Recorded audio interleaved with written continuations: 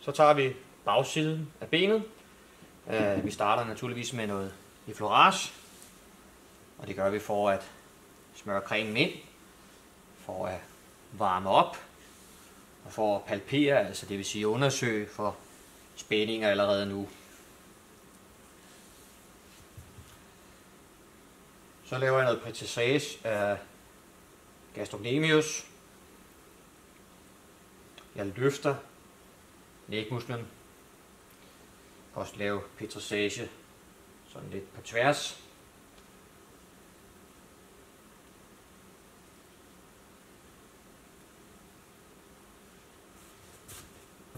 Så kan jeg lave nogle tommelfingerfriktioner op på den mediale side af gastrocnemius.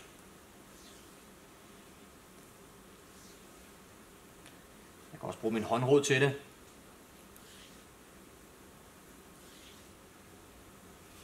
Så kan jeg lave nogle tommelfingerfriktioner af den mere laterale side af gastrocnemius og soleus.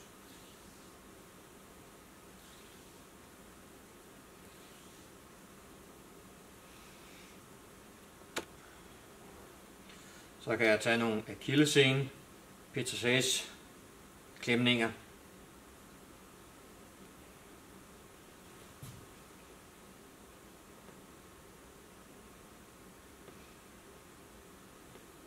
Kildescenen er rimelig lang, så man kan næsten komme ikke ned op til midten af læggen, men næsten. Der kan man skille gastrocnemius ad, da det er en tohovedet muskel.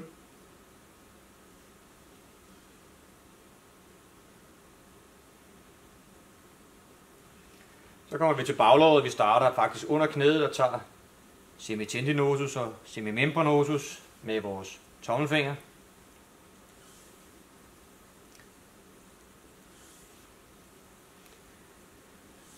Gør vi med friktioner. Og her igen kan vi tage eventuelt vores håndrod. Så kan vi tage Visas femoris. På den samme måde i virkeligheden med tommelfinger friktioner eller håndhovedsfriktioner.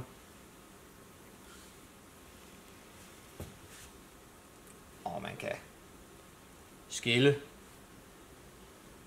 baglårsmusklerne ad.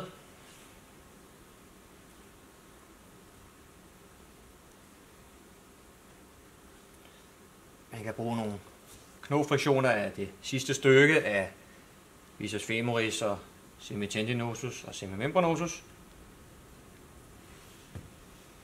Så kan vi tage lidt balle.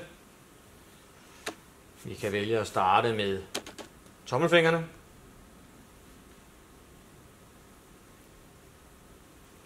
Fortsætte med det vi kalder leopardknorene.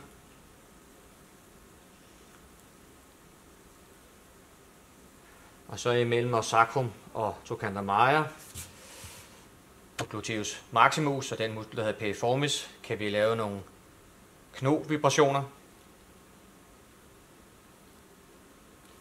Og det hele sluttes af, som det startede med, Floras.